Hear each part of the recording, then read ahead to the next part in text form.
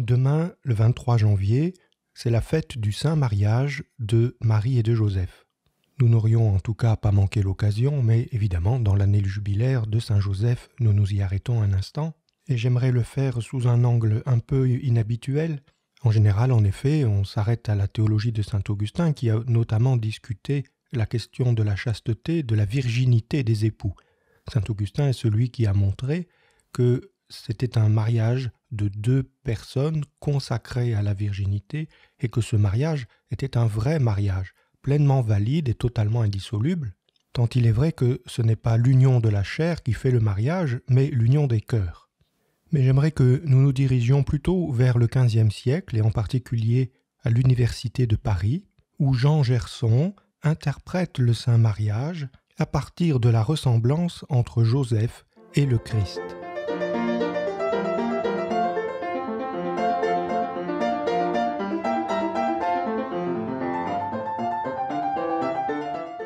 Vous écoutez Il est midi, un podcast proposé par la famille de Saint-Joseph et présenté par le frère Dominique Joseph.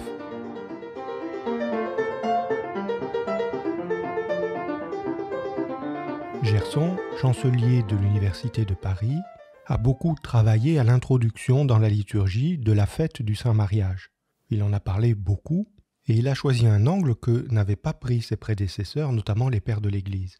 Pour lui, en effet, ce mariage virginal, fécond, ô combien fécond, est celui qui figure le plus parfaitement l'union du Christ et de l'Église. C'est-à-dire qu'il le lit à partir d'Éphésiens 5, et il remarque que le Christ est lui-même vierge, époux de l'Église elle-même vierge, et donc, explique-t-il, il ne faut pas réserver au Joseph de la Genèse seul d'être une figure messianique. Joseph du Nouveau Testament, Saint Joseph, l'époux de Marie, correspond parfaitement aux typologies christologiques, c'est-à-dire Joseph ressemble à Jésus, Joseph est le seul père dont on peut dire qu'il ressemble parfaitement à son fils. En outre, Marie est figure de l'Église. Autrement dit, Saint Joseph est directement lié par son mariage à l'Église, de même que c'est par son mariage qu'il est père de Jésus. On voit que le saint mariage est le centre des enjeux théologiques principaux de la théologie de Nazareth. C'est Marie et Joseph en tant que couple marié qui sont le centre et le fondement de tous ces thèmes majeurs en ecclésiologie, en christologie et dans la vie spirituelle en général. Dès lors, Saint Joseph est la figure du prêtre, particulièrement la figure de l'évêque. Et même, nous y sommes forcément sensibles en cette année du 150e anniversaire de son patronat sur l'Église, une figure du pape, c'est-à-dire l'époux visible de l'Église.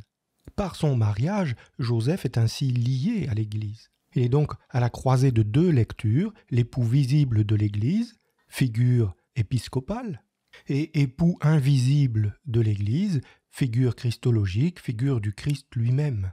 Joseph a ainsi une mission privilégiée en tant qu'époux de Marie envers le peuple de Dieu. Nous voyons donc qu'en nous plaçant à l'école de Gerson, nous considérons le saint mariage de Marie et de Joseph comme la parfaite représentation du mariage du Christ et de l'Église, dont la postérité est le peuple de Dieu. L'Église est heureuse chaque année d'enfanter de nouveaux enfants de Dieu, de nouveaux chrétiens, d'autres Christ, qui, par là même, deviennent les enfants, les, les fils et les filles de Marie et de Joseph. C'est donc en toute rigueur théologique qu'on peut affirmer cette réalité spirituelle dont nous vivons tous, à laquelle nous aspirons tous, qui consiste à voir dans chaque chrétien un enfant de Dieu appelé à grandir entre Marie et Joseph, à grandir en taille, en sagesse et en grâce, auprès de Jésus, dans le compagnonnage de Jésus, pour parfaire dans l'esprit sa ressemblance à Jésus-Christ. Frères et sœurs, il est midi, l'ange du Seigneur porte l'annonce à Marie.